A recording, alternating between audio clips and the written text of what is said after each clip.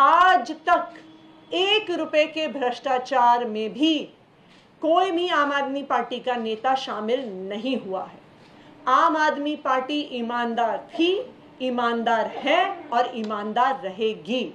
और मुझे आज भी इस बात पे पूरा भरोसा है कि आम आदमी पार्टी पे कितने केसेस होते रहे, लेकिन आखिरकार एक भी पैसे के भ्रष्टाचार का सबूत सामने नहीं आएगा। क्योंकि ना आम आदमी पार्टी ने कभी भ्रष्टाचार किया है ना कभी भ्रष्टाचार करेगी। धन्यवाद।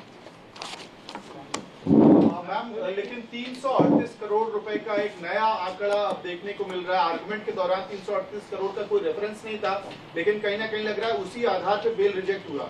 देखिए ये तीन सौ अड़तीस करोड़ क्या है ये तो एक बार ऑर्डर आएगा तो उसको स्टडी करना पड़ेगा। लेकिन जो पॉइंट सुप्रीम कोर्ट ने खुद उठाया था कि ये पैसा मनीष सिसोदिया के पास पहुँचा या नहीं पहुँचा? क्या उनके पास पहुँचा? क्या उनके किसी परिवार के व्यक्ति के पास पहुँचा? या उनके या उनकी किसी परिवार से जुड़ी हुई किसी कंपनी के पास पहुँचा? ये सवाल, इस सवाल का जवाब तो आज भी वही है, क्योंकि ईडी के अपने आरोपों में भी मनीष सिसोदिया के पास कोई भी पैसा पहुँचते हुए वो नहीं दिखा रहे हैं। तो ये तीन सौ अड़तीस का फिगर क्या है? ये सुप्रीम कोर्ट की बहस में नहीं आया था आज तक। और ये तीन सौ अड़तीस करोड़ का मनीष सिसोदिया जी के साथ क्या लिंक है? इसको भी एक बारी ऑर्डर देख के समझना पड़ेगा। लेकिन जैसे मैंने कहा, आम आदमी पार्टी एक ईमानदार पार्टी है। चाहे कितने भी आरोप ईडी, सीबीआई, दिल्ली पुलिस लगा ले, कोई भी सबूत साबित नहीं होगा। क्योंकि आम आदमी पार्टी ने ना आज तक एक रुपए का भ्रष्टाचार किया है ना करेगी। लेकिन देखिए ये जो पूरा मामला है इसमें आप पर आरोप लग रहे हैं बीजेपी के जो सांसद हैं वरिष्ठ नेता हैं वो ये कह रहे हैं कि अब आपके शीर्ष नेतृत्व यानी कि मुख्यमंत्री की ओर इशारा कर रहे हैं कि उनके भी जेल जाने की बात देखिए भारतीय जनता पार्टी ये चाहती है कि कोई उनका विरोध ना करे।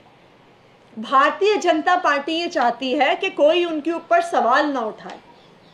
भारतीय जनता पार्टी ये चाहती है कि कोई उनके भ्रष्टाचार को उजागर ना करे। भारतीय जनता पार्टी ये चाहती है कि वो पिछले दरवाजों से चुनाव जीते, क्योंकि वो ईडी और सीबीआई का प्रयोग करते हुए अपने सभी विपक्षियों को खत्म कर दे आज अगर आप देखिए चाहे आम आदमी पार्टी हो, चाहे टीएमसी हो, चाहे कांग्रेस हो, चाहे डीएमके हो, जो कोई भी पार्टी भारतीय जनता पार्टी के विरोध में खड़ी है, उनके खिलाफ पूरे सरकारी तंत्र का ऊपर से नीचे तक प्रयोग किया जा रहा है। ये पूरा देश देख रहा है कि किस तरह से एजेंसीज का इस्तेमाल करके सभी विपक्ष की पार्टियों पे हमला करने की कोशिश की जा रही है। और अगर भारतीय जनता पार्टी के नेता ये आरोप लगा रहे हैं, ये ऐसी ही बात मीनाक्षी लेखी जी ने संसद में कही थी।